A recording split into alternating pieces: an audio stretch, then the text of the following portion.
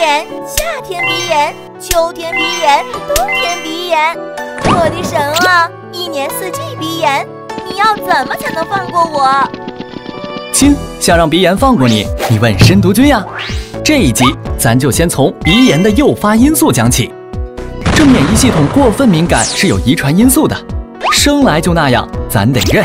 所以想躲开鼻炎，还得从过敏源上下功夫。找出过敏源，不招惹过敏源，才是预防过敏性鼻炎的好方法。花粉、灰尘，花粉和灰尘都是鼻炎重要的过敏源。春秋两季，花粉飞得更高，也就成了鼻炎的高发季节。花粉、灰尘敏感的亲们，出门常备口罩，日常多注意，自己少受罪啊。尘螨，尘螨也是过敏性鼻炎的主要过敏源之一。尘螨这家伙，你瞪成牛眼都看不到。据说一克床尘里能住进两万只尘螨，持续半年、一年鼻炎的亲们，该去查查是不是尘螨过敏哦。床上用品要常洗、常晒、常除螨，鼻子才能爽爽的。空气污染，汽车的尾气、工厂的废气都存在着像 PM 二点五、PM 十等有害的小颗粒，它们损伤鼻黏膜不说，本身就是过敏源哟，非常容易招来过敏性鼻炎。出门随时携带口罩，特殊的那种哟。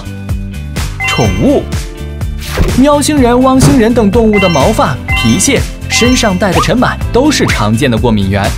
对这些过敏的亲，深度君劝你还是戒了这些猫猫狗狗吧。其他过敏源，有对海鲜过敏的，有对蛋类过敏的，有对牛奶过敏的，有对冷空气过敏的。常被鼻炎纠缠的亲们，多长个心眼儿，找出自己的过敏源。以后躲着走。说完诱因，咱说检查。前鼻镜检查，想初步判断鼻子有木有炎症，可以做个前鼻镜检查，看看鼻黏膜有木有过多分泌物了，中下鼻甲有木有肿胀了，鼻子里有木有异物了。医生看看就知道炎症有木有。过敏原检测，想知道自己对啥过敏，敏感程度有多高，不妨做个过敏原检查。最传统的方法就是皮肤点刺试验，把常见的过敏源通过医学手段制成点刺液，像做青霉素皮试一样在胳膊上扎来扎去。要是出现风团、红晕，就代表对相应的物质过敏了。当然了，抽血检测也是一种方法哟。说完检查，咱说治疗。药物治疗，抗组胺药。还记得之前说过的炎性物质吗？这些炎性物质的主力军就是一种叫做组胺的家伙，它就像插头，在细胞上找个插座，这一插好了，正常细胞就遭殃了。组胺类药物就是搞了无数个没啥卵用的插头，去把细胞身上的插座都插满，让组胺无处可插，炎症就这么泡汤了。糖皮质激素。糖皮质激素有个特异功能，能减少参战大白的数量，即使参战也能降低大白释放炎性物质的数量，过敏就没那么严重了。减充血剂，当鼻黏膜上的血管扩张充血，导致鼻黏膜肿胀，鼻塞就来了。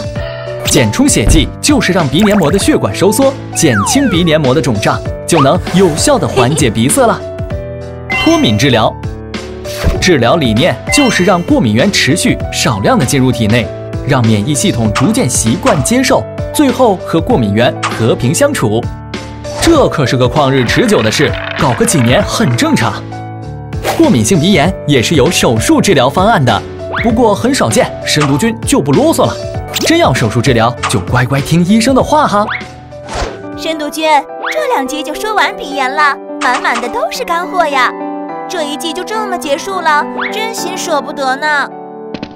鼻炎太难缠，房间谣言满天飞，偏方到处有。深读君精心制作了一集问答特辑，下集重磅推出，不想上当受骗的兄弟姐妹们，等我哟。